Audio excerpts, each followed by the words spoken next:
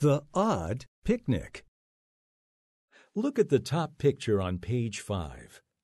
Oswald is the super noodle, or leader of the club today. He planned a picnic. The super kids are walking to the picnic spot and carrying bags of food. Listen as I read the first sentence. Oswald is the super noodle. Oswald is pointing which way they need to go to get to the picnic spot. Listen to Oswald say the words in his speech balloon. The picnic spot is up the hill. Now look at the bottom picture. Ettabetta and Cass are carrying bags with buns in them. Listen as I read the top sentence. Ettabetta and Cass spot robins. The baby robins in the nest are hungry. Their beaks are wide open. Listen to Ettabetta say the words in her speech balloon. Let's help the robin.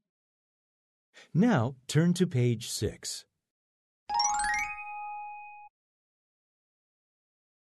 Look at the top picture on page 6.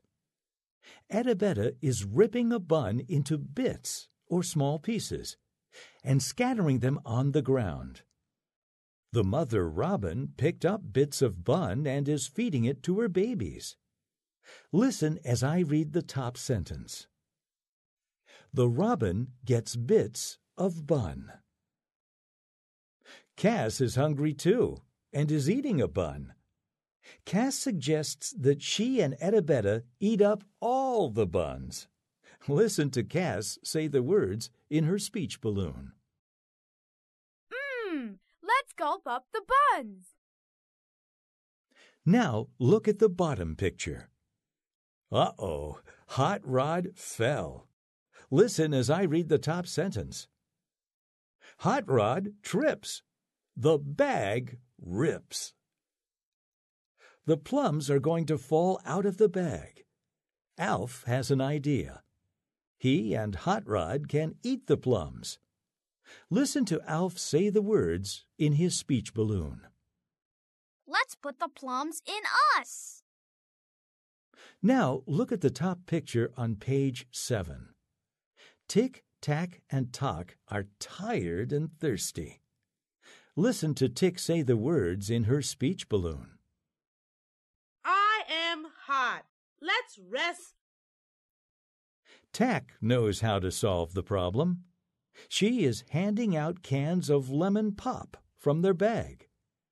The girls are sitting down to rest and cool off. Listen as I read the next sentence. Tic, Tac, and Toc sip the lemon pop. Now look at the bottom picture. Sal has been carrying a melon in his bag. He and Doc are sitting down and resting. The melon is too big and heavy. Listen to Sal say the words in his speech balloon. I cannot lug the big melon. Doc has a solution. She and Sal are eating the melon as they rest. Listen as I read the bottom sentence. Doc and Sal get rid of the melon. Now turn to page 8.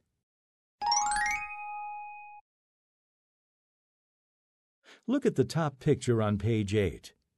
Lily and Icky are carrying bags of carrots. They are walking by a pond. Listen as I read the first two sentences. A rabbit hops past. Hip, hop, hip, hop. Lily and Icky stand still and watch the rabbit. Then Lily has an idea. Listen to Lily say the words in her speech balloon. Let's put a carrot on the stump. Now look at the bottom picture. Lily has put a carrot on the tree stump for the rabbit to munch. She and Icky are sitting and munching carrots too. Listen as I read the first two sentences. The rabbit spots the carrot. Lily and Icky get rid of the carrots. Listen to Lily say the word in her speech balloon. Mmm. Now look at page 9. Listen as I read the top two sentences. The Super Kids stop at the picnic spot. But the picnic is a problem. Everyone is at the picnic spot. Oswald is ready for everyone to unpack or take out the food from the bags. But there's a big problem. The bags are empty. Listen to the Super Kids say the words in the speech balloons. Let's get the picnic stuff. No pop is left. No melon is left. No buns. No carrots. No plums.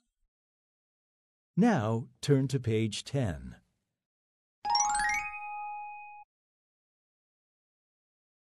Look at the top picture on page 10. Oswald is taking something out of a hole in a tree stump. Listen to Oswald say the words in his speech balloon. The picnic can still happen. I hid gumdrops.